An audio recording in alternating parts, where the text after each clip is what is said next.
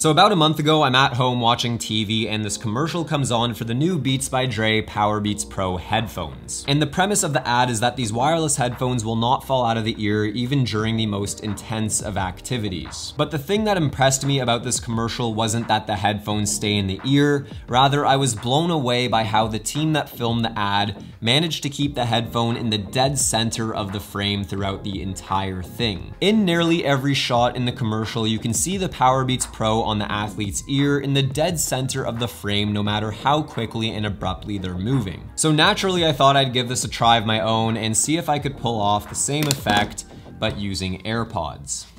Play something royalty free.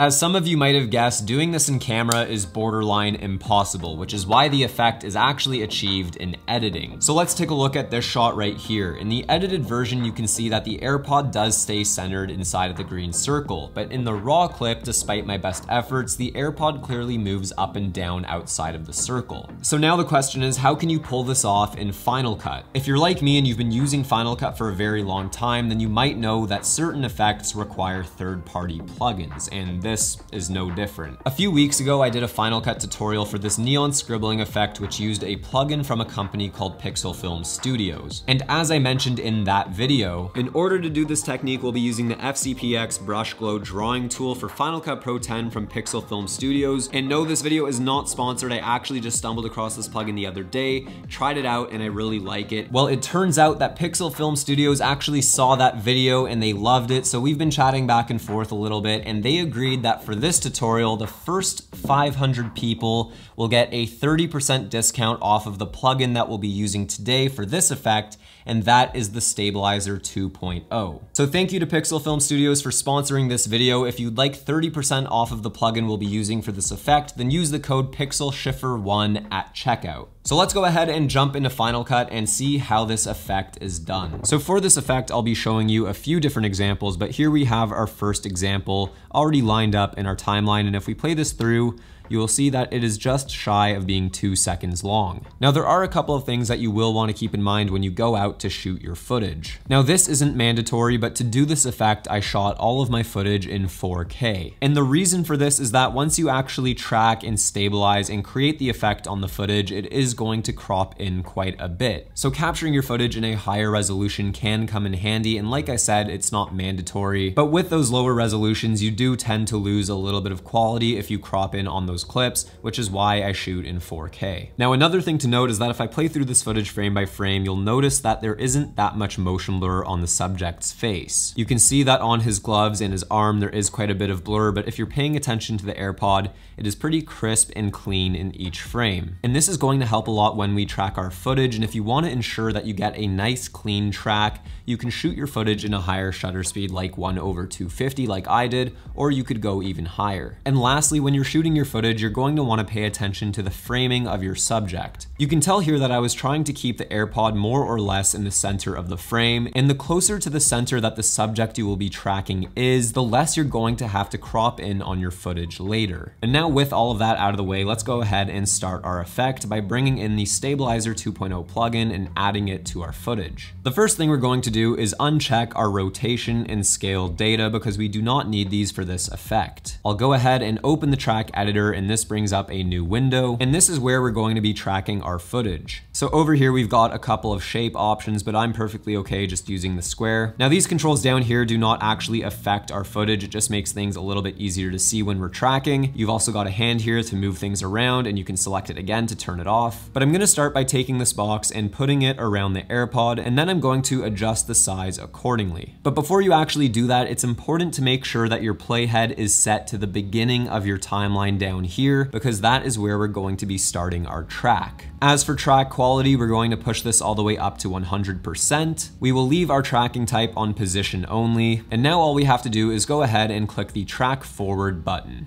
And you can now see that the auto tracker has started doing its thing, tracking the AirPod automatically frame by frame without us actually having to go in and create keyframes individually on our own. And you can see that the auto tracker has actually done a perfect job tracking our AirPod. So once we're happy with that, we'll go ahead down here and click the export data button. And just like that, we have a perfectly tracked clip and our AirPod is in the center of the frame the entire time. So something that is really cool about the Stabilizer 2.0 plugin is that sometimes we don't actually need to crop in on our footage. If we scroll down to guide controls and then turn on our guides, you can see that we have this black space along the top and the left side of our footage. I'll go ahead and turn the opacity up to 100% just for a moment, and if we play this back, you can actually see where our original clip actually is in the frame. Now, if we turn off the guides, you can actually see that the Stabilizer plugin automatically fills in the gaps by mirroring the image around its edges. Now, depending on your footage, you may or may not want this. So what you could do is select your footage and then turn on your guides and then scroll down to the stabilization controls and from here you can offset the scale until you're happy with how much it is cropped in. And now if we play our clip back, you can see that there's no longer any weird reflected edges.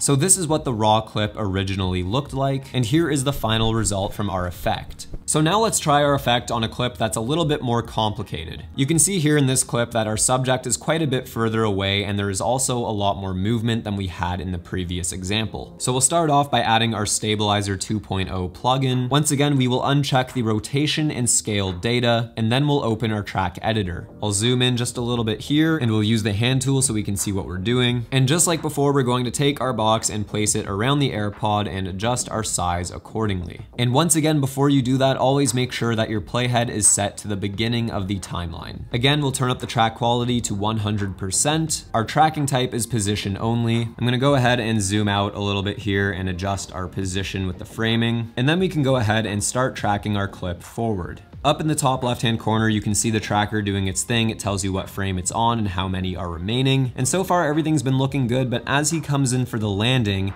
you'll notice that our tracker box suddenly jumps to the other side of the frame, and that's obviously not what we want, so we'll go ahead and stop our track. And by using the left arrow key on my keyboard, I'm going to click back frame by frame until the point where our track stopped working. So you can see right there is when it stopped working. So what we'll do is hold down shift on our keyboard and then click and drag and delete all of these keyframes by right clicking and hitting remove keyframe. And now once again, we're going to click the left arrow key on the keyboard to go back one frame. And because this right here was our last successful frame, I'll go ahead and set keyframes on all of our positions to make sure that we don't lose that information. Now using the right arrow key on my keyboard, I'm going to skip ahead by one frame. I'll zoom in, and now I'm just going to fix our tracker box and make sure that it is still selected around our AirPod. And I'm just gonna zoom out a little bit and continue tracking our clip forward.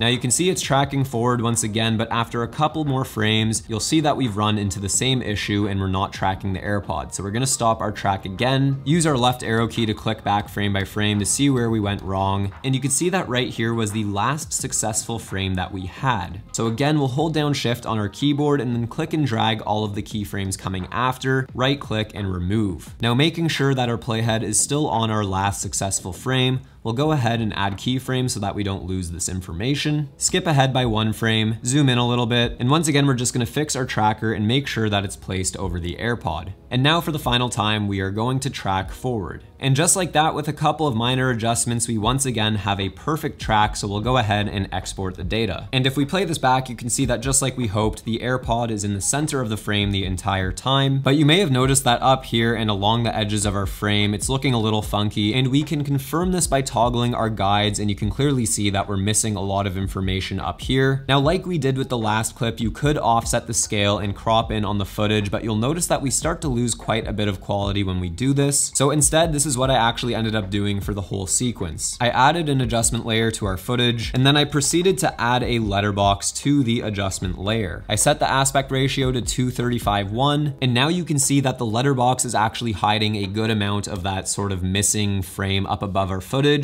So all we have to worry about now is offsetting the scale just enough to hide those imperfections along the sides. So this is what the raw clip originally looked like, And here is the final result after adding our effect. But here's a few other practical things you can do with the Stabilizer 2.0 plugin. Like the name suggests, you can use it to stabilize your footage, and it actually works a lot better than Final Cut's built-in stabilization. Another useful trick is to use the plugin to center your drone shots, and you can even track your subject's rotation. So once again, in case you forgot, only the first 500 people to use the code Pixel PixelSchiffer1 at checkout will get 30% off of the Stabilizer 2.0 plugin from Pixel Film Studios. But that is it for today's video. Thank you guys so much for watching. Follow me on Instagram at daniel.schiffer, and as always, I will see you guys in the next video. Peace!